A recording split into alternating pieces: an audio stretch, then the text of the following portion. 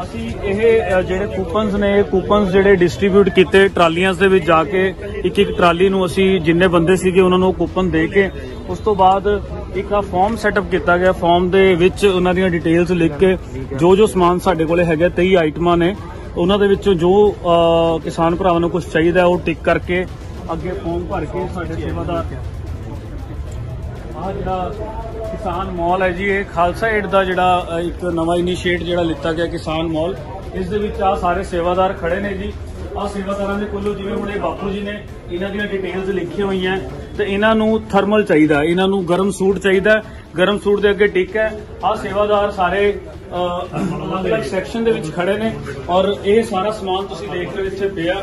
ਔਰ thermal section ਦੇ ਵਿੱਚ ਜਾ ਕੇ ਇਹਨਾਂ ਨੂੰ ਥਰਮਲਸ ਆ ਜਿਹੜੇ ਉਹ ਦੇਣਗੇ। ਉਸ ਤੋਂ ਬਾਅਦ ਇਹ ਫਾਰਮ ਜਿਹੜਾ ਸਾਡੇ ਕੋਲ ਰੱਖ ਕੇ ਇਹ ਫਾਰਮ ਦੀ ਜਿਹੜੀ ਐਂਟਰੀ ਹੈ ਉਸ ਦੇ ਵਿਚਕਾਰ ਜਿਵੇਂ ਹੁਣ ਭਾਈ ਸਾਹਿਬ ਤੁਸੀਂ ਵੀ ਇੱਥੇ ਲੈਣ ਕੀ ਚਾਹੀਦਾ ਸੀਗਾ ਜੀ ਅੱਛਾ ਸ਼ੂਜ਼ ਇਹਨਾਂ ਨੂੰ ਹੁਣ ਸ਼ੂਜ਼ ਚਾਹੀਦੇ ਸੀ ਇਹਨਾਂ ਨੇ ਸ਼ੂਜ਼ ਲਿੱਤੇ ਆ।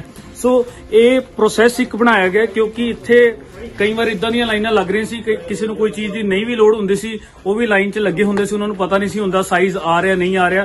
ਸੋ ਇਹ ਸੈਗਰੀਗੇਸ਼ਨ ਇਸ ਤਰੀਕੇ ਨਾਲ ਕੀਤੀ ਗਈ ਹੈ ਸੋ ਆ ਇਹਨਾਂ ਨੂੰ ਕੰਬਲ ਚਾਹੀਦੇ ਸੀਗੇ ਜੀ?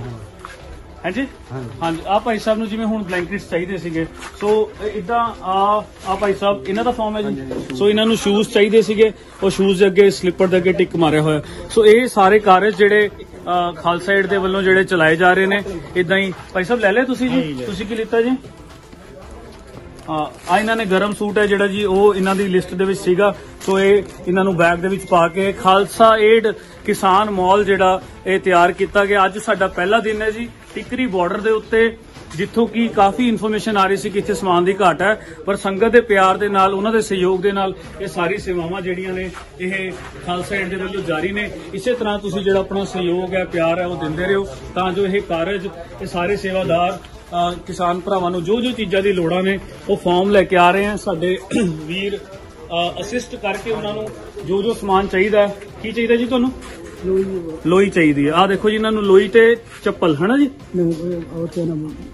ਕੀ ਚਾਹੀਦਾ ਤੁਹਾਨੂੰ? ਹਾਂ ਥਰਮਲ ਇਨਰ ਵੀਅਰ ਤੇ ਲੋਈ ਚਾਹੀਦੀ ਆ। ਆ ਹੁਣ ਸਾਡੇ ਵੀਰ ਆ ਸੈਕਸ਼ਨ ਤੇ ਖੜੇ ਨੇ।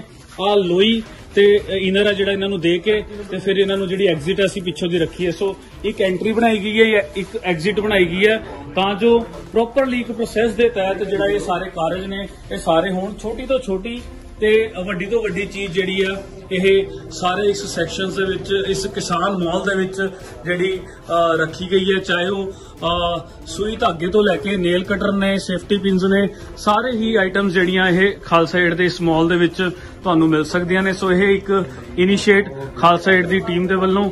ਸੋ ਸਾਰੀ ਸੰਗਤ ਦਾ ਮੈਂ ਤਹਿ ਦਿਲੋਂ ਧੰਨਵਾਦ ਕਰਦਾ। ਜਿਨ੍ਹਾਂ ਦੇ ਸਹਿਯੋਗ ਦੇ ਸਦਕਾ ਇਹ ਸਾਰੇ ਕਾਰਜ ਨੇ ਜਿਹੜੇ ਉਹ ਚੱਲ ਰਹੇ ਨੇ। ਸੋ ਇਸੇ ਤਰ੍ਹਾਂ ਤੁਸੀਂ ਆਪਣਾ ਸਹਿਯੋਗ ਤੇ ਪਿਆਰ ਦਿੰਦੇ ਰਹੋ। ਵਾਹਿਗੁਰੂ ਜੀ ਕਾ ਖਾਲਸਾ, ਵਾਹਿਗੁਰੂ ਜੀ ਕੀ ਫਤਿਹ।